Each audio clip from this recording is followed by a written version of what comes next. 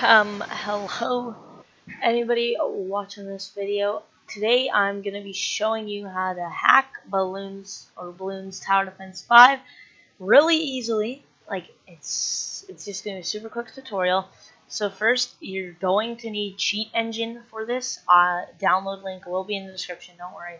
Cheat Engine, it does not download a virus. It's just super easy. Anyways, I'm going to show you guys how right now. So you're going to want to start up whatever game you're playing and you're going to open Cheat Engine.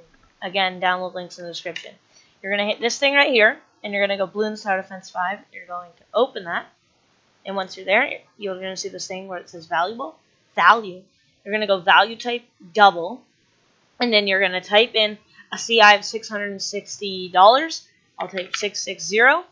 Do first scan, and a bunch of stuff will pop up, so I don't know which ones are the right ones. So I'm going to drag and drop one, Oops, not that. I'm going to drag and drop. It's not working. Oh, sorry. Okay. You're going to drag and drop it. Then you're going to go to File, and then you're going to see that these ones went down. So you're going to want to get this one. Sorry.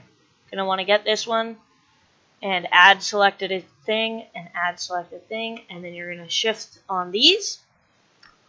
Then hit change record value and you can just type in whatever value you want. I'll just do a ton of money.